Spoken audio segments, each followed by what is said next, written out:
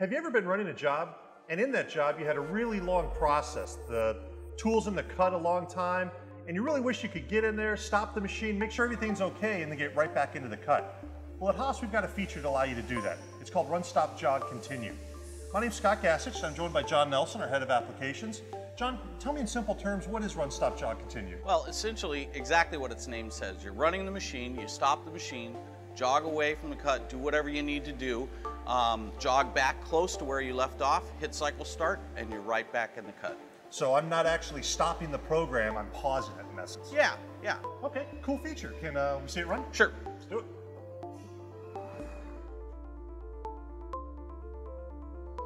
Okay, so I see we're at the point where we wanted to stop on this part. Take me through how we do it. Yeah, it's real simple, right? Feed hold stops the motion of the machine. Uh, I press the uh, letter of the axis that I want to jog. In this case, we're turning in OD, so I'm going to press X, press handle jog, and now I'm in jog away mode. Okay. So I just grab the hand wheel and jog away in the X axis. Now, part of this is we wanted to get in and look at the insert.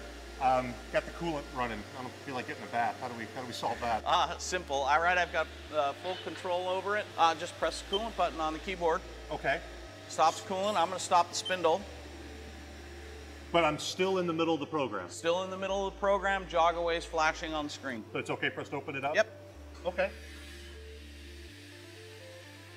So now I've got full access inside the machine tool. Yeah. I can change my insert, I can blow off chips. What are the reasons might I want to use this? Uh, so there's a bunch of reasons, right? You obviously you mentioned the one you want to check the insert, make sure that it's still in good condition, especially if you were roughing this whole part out. Um, you may want to check surface finish to see if your surface finish is coming out okay. You may want to get a micrometer and check a diameter and make sure your uh, your part dimensions are right before you continue on with the process. There's any number of reasons you might want to stop in the middle. Now, this is also available on mills.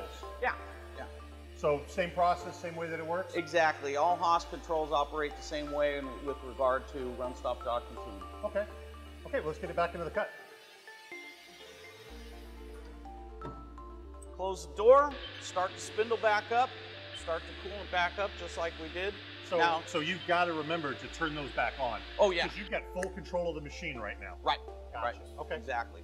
Uh, so memory mode is going to get me back into jog return, which flashes Okay. on the screen there. That lets me know that I'm ready to go back. And uh, cycle start's going to return the tool right back from where I stopped. And then one more to continue the motion. Wow, that's simple. So right there, in and out of the cut. Yeah. So there you have it, Run, Stop, Jog, Continue. Another example of us trying to make your life easy.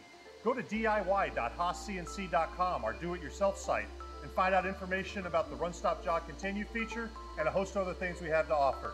John, I appreciate it. Thanks once again. Sure thing.